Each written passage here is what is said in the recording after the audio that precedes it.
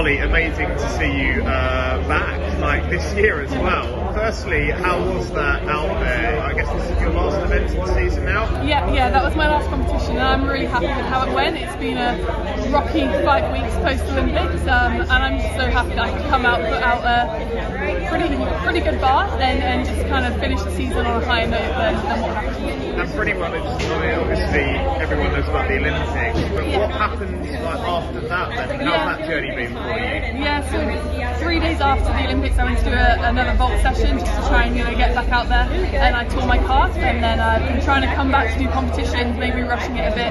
Suffered a few more like kind of mini tears and warning signs, so we just rested it. And um, yeah, uh, I did one training session, vault session about four or five days ago, and we thought why not just go today and go. I guess the easy option would have been, okay, it's the season, you know, the season's almost ending, we're just going to concentrate 2021, but you made a concerted effort to come back and make this Olympic final. I think from what happened, I needed some closure. I don't want.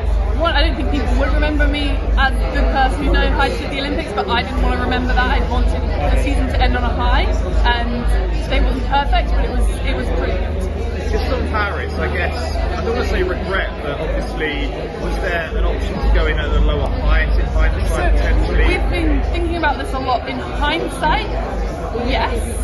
But if we were to do it all again without hindsight, I wouldn't have changed a thing. Like, I, apart from tonight, because of what happened, I come in at 450, 455 every competition.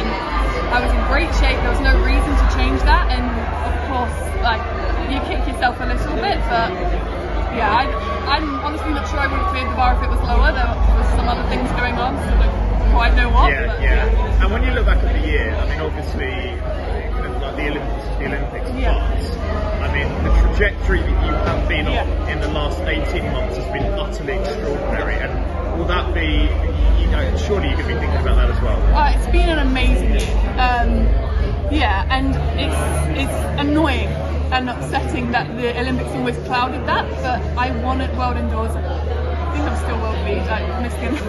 I, I, yeah, I'm going to say Maybe, that I yeah, maybe. Um, uh, you know, so there's so many positives to take away. I think tonight was my ninth jump over 480, and for me that's huge. Um, so there's so many positives to take from the year, and I'm already excited to come back out next year. And that consistency as well, the fact that you're kind of doing it, you've been doing it week in, kind of week out, Yeah. kind of, I mean, that must be going into next year as well, must you it, massively, both mentally and physically. Yeah, absolutely. I mean, apart from this little path thing that I've been, like, had, I've been really healthy, and I just want to kind of keep that through winter.